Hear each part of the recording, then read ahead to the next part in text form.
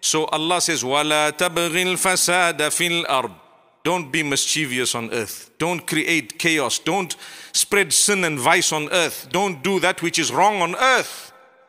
Be careful. Calm down. And Allah will bless you in a million and a billion ways.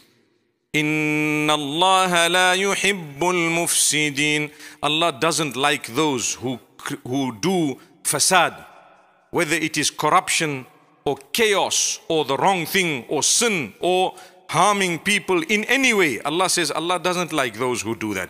So do good and calm down and be humble. These are just some verses. This is a portion of a verse that I shared with you and I just broke it down to the few points and how they are connected to each other.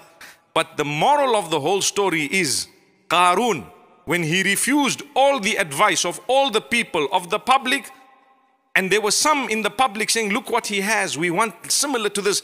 I wish Allah gave me what Qarun has. The people of knowledge said, Don't wish that because you know what? What he has has not come with goodness. He's only amassing and amassing and amassing. What are you amassing for? Are you not going to use? You're not going to spend miserly. Sometimes there's a wealthy person. His own family will tell you this man doesn't spend. The term they use is stingy. May Allah Almighty protect us from stinginess, miserliness.